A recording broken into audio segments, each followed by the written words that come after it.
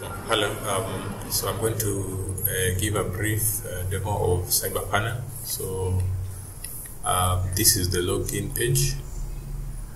Um, the first thing that we need to do is just log in. So we will use the credentials that uh, uh your credentials for CyberPanel. So let's log in. These are mine. So the first thing I'll demo is the uh, first thing I'll demo is the features that are on the dashboard. Uh, so the first thing we'll deal with is the users. Um, you can create, uh, you can uh, uh, show the list of users who are available. Currently, there aren't any other than the admin. Uh, you, you, create a user from this, so you have to provide the first name, last name, email, the type of user that it will be, how many sites are they limited to, and uh, the username and uh, password. So um, from here also you can modify any user. So but currently I don't have any user other than the admin. So for example, this is the admin. So um, so let us go to the next one, which is the websites. Um, so the websites are generally um, equivalent to something that you can also find on cPanel. Um, so I do have like a demo site that is uh, live. So this one I, is something that I created. Um, so as you can see, I've uh, created. I've, uh, this is the actual site itself. Um, you can manage it from here also. Um, uh, you can see it has uh, issued it an uh, self-signed certificate. Um, you can see the loans and stuff. Um, when you first create yours, um, it won't have WordPress installed, but that's something you can install from here. So it adds WordPress as well as the LiteSpeed Cache. Um, additionally, you can add things like uh, Git, the Presta Store, and Mautic. Um, if you want to uh, change any any of the files there, you can use the file manager. So you just need to click here, take you to the file manager. And for those who are familiar with cPanel, this is should look uh, like something that is familiar. So as you can see, these are the uh, WordPress uh, PHP files.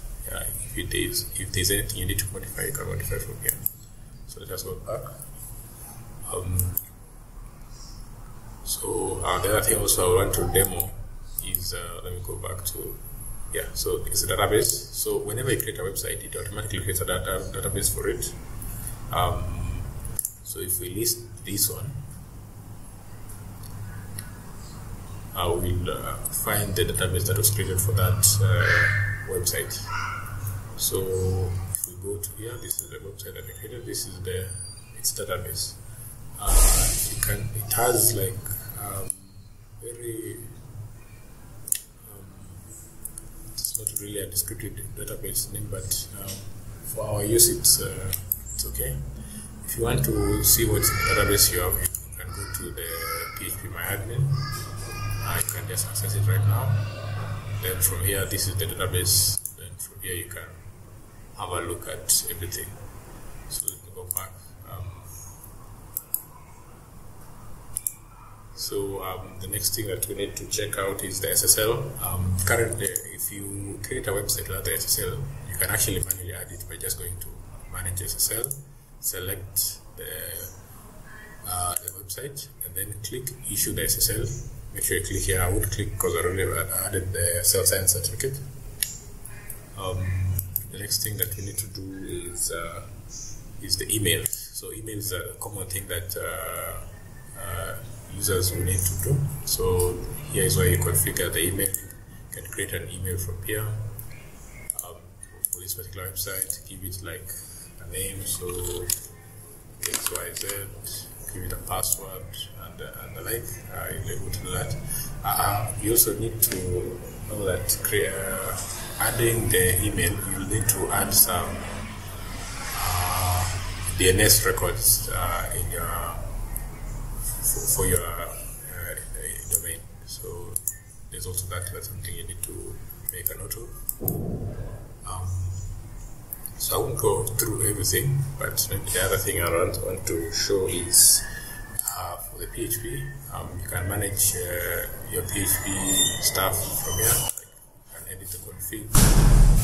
Uh, for example, you can you can add uh, you can raise the memory limit, you can add the post size, increase the upload size. Something that is common. You can change it to something like 200 uh, megabytes. The other thing also is uh, common thing is installing extensions. Um, you select the PHP version that you want to add extension to. In our case, um, uh, I think all the extensions are enabled, but if uh, for your case you uh, an extension is not uh, hasn't been installed, you can add it from here. Uh, the last thing also I want to show is this is um, for more advanced users. Um, you can add can install Docker on the cYberPanel so that you can uh, add uh, any Docker image that you need. Um, so, um, so that's a basic overview of uh, the cPanel, uh, not cPanel, um, cYberPanel, um, the free cPanel alternative. And uh, in the coming videos, we'll further explain more details such as uh, installing WordPress um, and the like. So stay tuned and uh, thank you for listening.